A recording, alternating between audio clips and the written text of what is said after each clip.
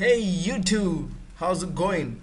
Um, today I'm going to show you how to make a portable um, USB web server such that you can always copy your files and work on your server anywhere you may be. So um, this is what I'm practically going to do.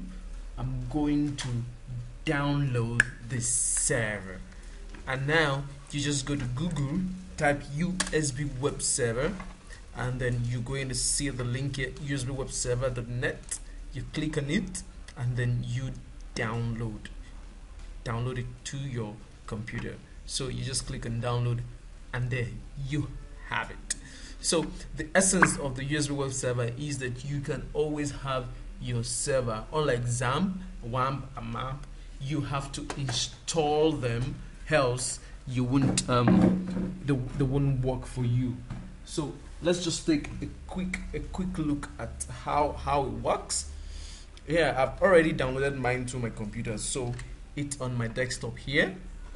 I'm going to create a new folder here and i'm just going to call it server or you can give it any name you want and then you extract the files into the folder. So I'm going to assume this folder is my USB, is my flash drive. So I'm just going to extract all of this to a folder in my flash drive. And then, yeah, that's, that's it. Once it's done, you can close.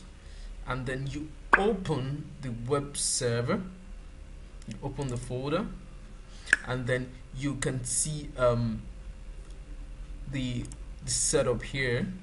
You double click on it and then it, it opens it opens up yeah and it asks you for some some sort of um, security stuff so you just click on allow um, yeah and that's all. So here you can select your language. I'm just gonna select English and then I head down to settings. I make sure I change my Apache port to 80 but you can give it any number whatsoever but it's better you you you give it 80 so that it just automatically um, comes up without adding the port extension.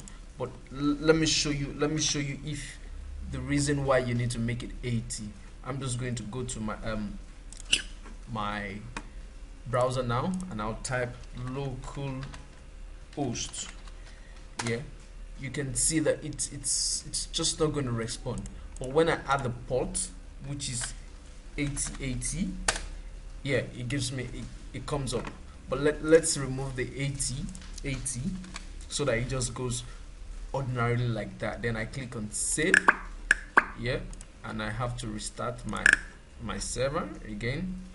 Go back to my folder and I click on it again.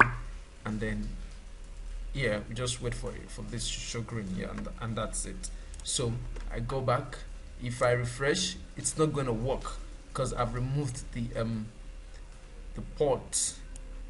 So once I do localhost it comes up. So you might want to have it that way.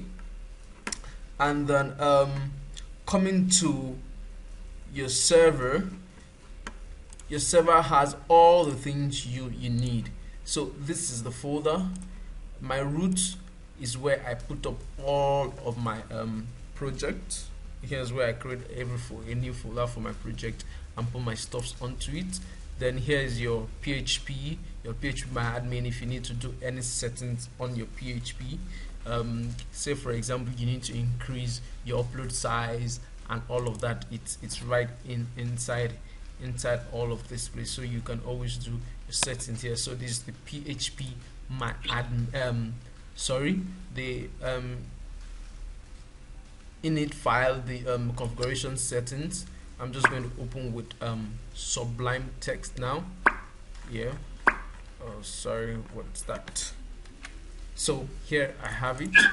So here you can then do all your settings um, but these are the major settings you need to do. Um, display error has to be turned off. Um, if you want to and there's so many other settings you could you could also also do. So I'm going to add on to my browser now and do localhost slash php my admin. Yeah so it opens up your php my admin. Look down to this place you can see um, your username and your password for your MySQL um, login um, for the PHP my admin login. So I'm just going to put that and then it opens up and I can start creating my my database. So portable web server is the way to go so that you can always have your project on your flash drive and you can use it on any Windows computer. So I hope that helps.